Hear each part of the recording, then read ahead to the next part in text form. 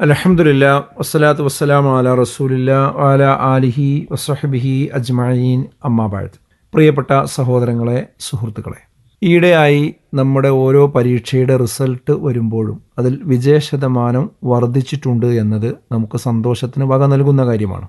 എന്നാൽ വിജയശതമാനം വർദ്ധിക്കും തോറും നമ്മുടെ നാട്ടിൽ കുറ്റകൃത്യങ്ങൾ പെരുകുന്നതിന്റെ കാരണമെന്ത് എന്നുകൂടി നമ്മൾ പഠനവിധേയമാക്കേണ്ടതുണ്ട്. യഥാർത്ഥത്തിൽ വിദ്യാഭ്യാസം ഉണ്ടാകുമ്പോൾ സംസ്കാരമുണ്ടാകണമെന്നതാണ്. എഡ്യൂക്കേഷൻ ഫോർ ഹ്യൂമൺ കൾച്ചർ എന്നാണ് വിദ്യാഭ്യാസത്തെ സംബന്ധിച്ച് നിരീക്ഷിച്ച എല്ലാ പണ്ഡിതന്മാരും പറഞ്ഞു വെച്ചിട്ടുള്ളത്.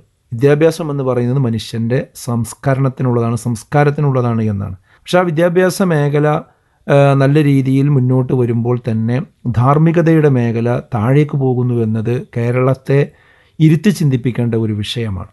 ഞെട്ടിക്കുന്ന കൊലപാതകങ്ങൾ ആവർത്തിച്ചുകൊണ്ടേയിരിക്കുന്നു.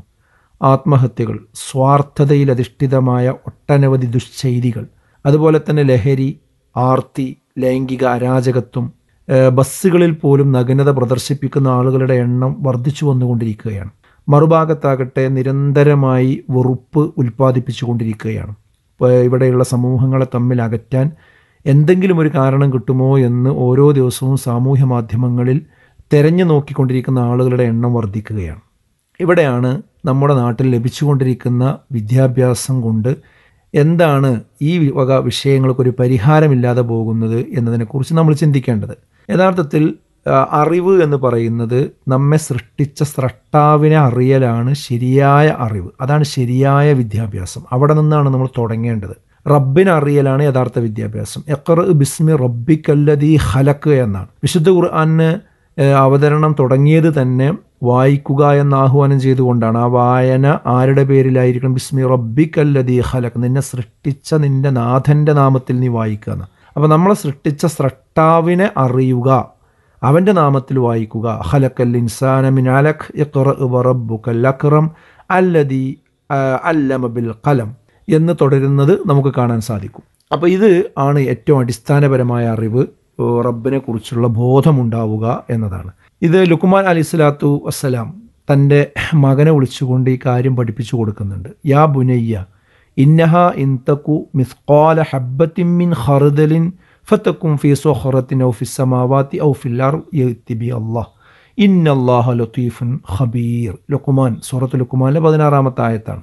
പൊന്നു മകനെ നീ ഒരു ധാന്യത്തിന്റെ ഒരു കഷ്ണം അതിനേക്കാൾ നിസ്സാരമായത് എവിടെയെങ്കിലും ഭൂമിയിലോ ആകാശത്തിലോ മറ്റു പാറക്കെട്ടുകൾക്കിടയിൽ എവിടെ കൊണ്ടുപോയി വെച്ചാലും യത്തിബിഹല്ലാ അത് അള്ളാഹു കൊണ്ടുവരിക തന്നെ ചെയ്യും.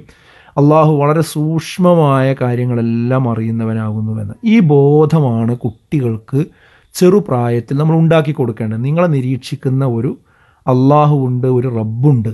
ഇത് ബോധ്യപ്പെടുത്തിയ ആൽ മാത്രമേ ഈ കുട്ടികൾക്ക് ശരിയായ അറിവ് കിട്ടുകയുള്ളൂ. ആ അറിവിന്റെ ബേസിൽ പണിതുയർത്തുന്ന പഠിച്ചുയർത്തുന്ന വിവരങ്ങൾക്ക് മാത്രമേ യഥാർത്ഥ നിലനിൽപ്പുണ്ടാവുകയുള്ളൂ എന്ന് നമ്മൾ മനസ്സിലാക്കണം. അണ്ടകടാഹങ്ങളെക്കുറിച്ച് പഠിക്കുമ്പോൾ അതിന്റെ പിന്നിലുള്ള സ്രഷ്ടാവിനെക്കുറിച്ച് കൂടി പഠിപ്പിക്കേണ്ടതുണ്ട്. ചരിത്രത്തെക്കുറിച്ച് പഠിക്കുമ്പോൾ ചരിത്രത്തിന്റെ പാഠം കൂടി പഠിപ്പിക്കപ്പെടണം. ഇങ്ങനെ പഠിച്ചു വളരുന്ന അല്ലെങ്കിൽ വളർന്ന ഒരു അധ്യാപകന് തന്റെ അധ്യാപന ജീവിതത്തിൽ ഒരിക്കലും ഉഴപ്പാൻ സാധ്യമല്ല. അതുപോലെ തന്നെ ഇങ്ങനെ പഠിച്ച വളർന്ന ഒരു ഡോക്ടർക്ക് തന്റെ മുമ്പിൽ വരുന്ന രോഗിയെ ഒരു കാരണവശാലും ചൂഷണം ചെയ്യാൻ സാധ്യമല്ല. ഒരു എഞ്ചിനീയർക്ക് തന്റെ പ്രൊജക്റ്റുകളിൽ അഴിമതി ചെയ്യാൻ കഴിയില്ല.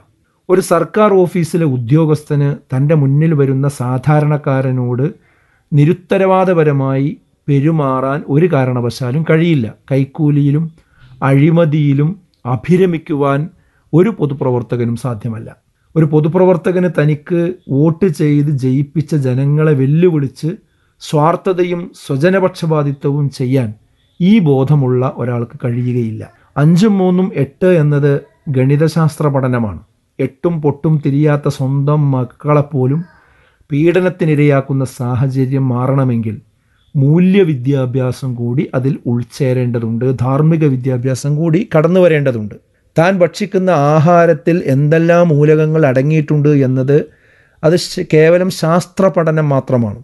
എന്നാൽ ആ ആഹാരം വിശക്കുന്നവന് നൽകിയാൽ പ്രതിഫലം ലഭിക്കും എന്നതിന്റെ പേരാണ് മോറൽ എഡ്യൂക്കേഷൻ അഥവാ ധാർമ്മിക വിദ്യാഭ്യാസം എന്ന് പറയുന്നത്. അപ്പോൾ ഈ ഒരു കാഴ്ചപ്പാടിലേക്ക് നമ്മൾ എന്ന് തിരിച്ചു വരുന്നുവോ? അന്ന് മാത്രമേ വിദ്യാഭ്യാസം കൊണ്ട് നമ്മൾ ഉദ്ദേശിക്കുന്ന ഒരു സംസ്കരണ സമൂഹത്തിൽ ഉണ്ടാക്കിയെടുക്കാൻ കഴിയുകയുള്ളൂ. അല്ലെങ്കിൽ കുറേ കാണാപ്പാടം പഠിച്ച് എന്തൊക്കെയോ ആളുകളായി മാറും. പക്ഷേ മനുഷ്യന്റെ ഒരു ഗന്ധവും അവരിൽ ഉണ്ടാവുകയില്ല എന്നാണ് നാം മനസ്സിലാക്കേണ്ടത്. അതാണ് ഇന്ന് നമ്മുടെ നാട്ടിൽ കണ്ടുകൊണ്ടിരിക്കുന്നത്. അതുകൊണ്ട് വിദ്യാഭ്യാസ മേഖലയിൽ കൃത്യമായ ഈ കാഴ്ചപ്പാട് സ്വീകരിക്കാൻ നമ്മൾ തയ്യാറാകണം. അതിന് നമ്മെ അനുഗ്രഹിക്കുമാറാകട്ടെ. അസ്സാം വലൈക്കും വറഹമത്തുള്ള വിസ്ഡം ഇസ്ലാമിക് ഓർഗനൈസേഷൻ അവതരിപ്പിക്കുന്ന നേർവഴി. എല്ലാ ദിവസവും ഏതാനും മിനിറ്റുകൾ സാമൂഹിക വൈയക്തിക കുടുംബരംഗങ്ങളെ വിശകലന വിധേയമാക്കുന്നു. അറിയുക അറിയിക്കുക നേർവഴി. Peace Radio. Tune to reality.